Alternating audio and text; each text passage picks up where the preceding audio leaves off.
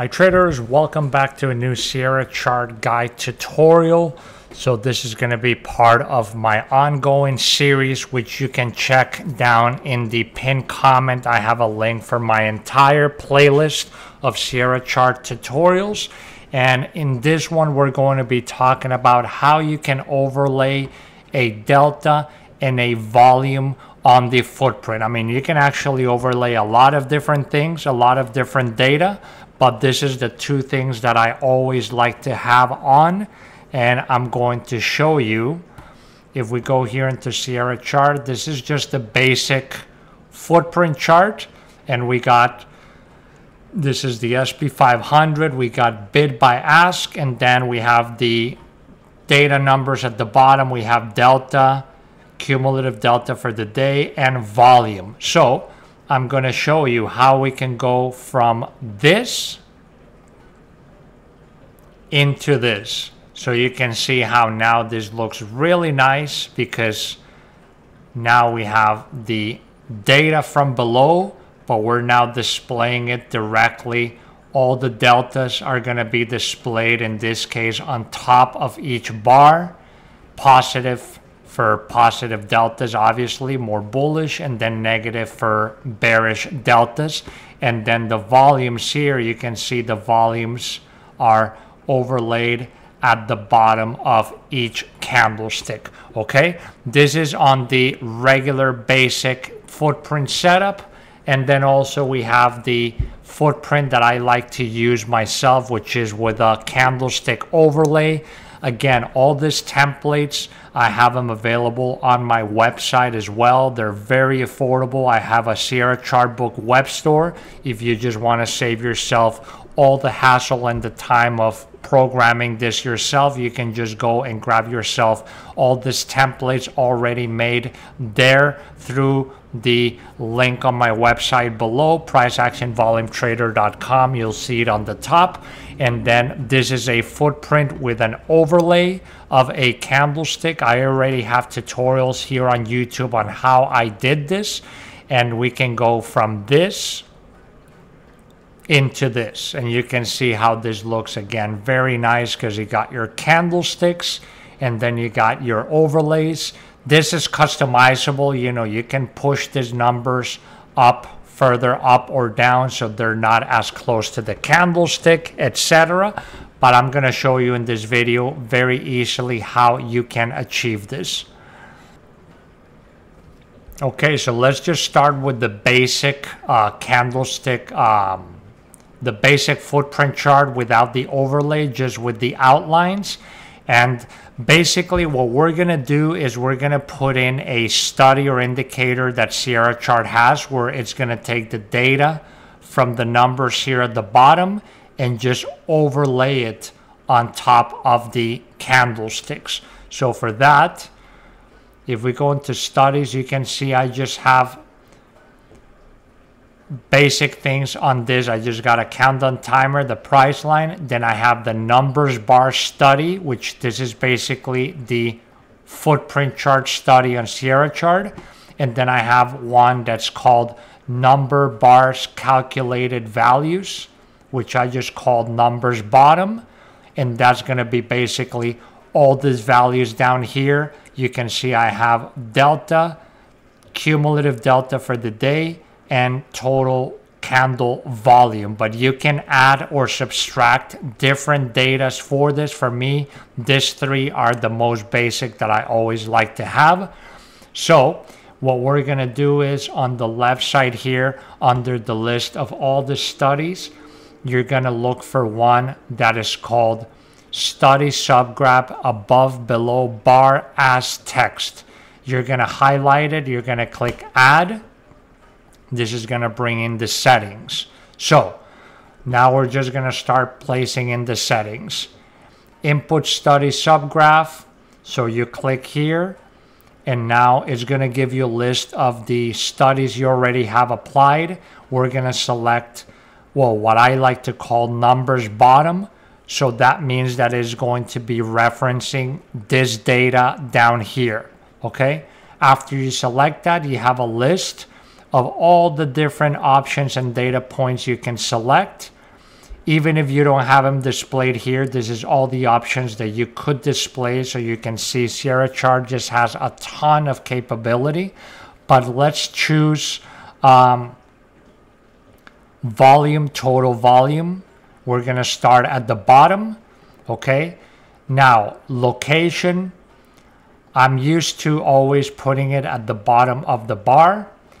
Offset ticks, let's put two. That's just going to be how, the, how far away is going to be. And then we click apply and you can see it came out here. So we cannot really see it a lot yet because the colors are not very bright. So if we go to subgraphs now, you can see under reference, it's like at a very light orange. I'm going to choose black. Okay. And I click apply. And now we have the total volumes displayed here. Normally, I like to take this off just because it's going to take off all these numbers here at the top of the chart that for me, all these letters and stuff that for me just are just in the way. And then you can see now that we got the volumes at the bottom of every candlestick, okay? Of every footprint candlestick bar. Now, one thing I don't like is that they're all displaying the number with two decimal points. So in order to get rid of those, we go back to the settings for this study and under settings and inputs where it says value format, you're just going to put large integer with suffix, apply it, and there you have it. And you can also change the size here under subgraphs. You can make it bigger if you want. And right there, you have your volume values that were on the bottom here. Now you have them all overlaid underneath each candlestick so it's just so much easier to see this instead of having to try to read all the numbers at the bottom of the screen below each candlestick on its own. And now for the delta, we basically do almost the exact same process. We go to studies, study subgraph above below, add.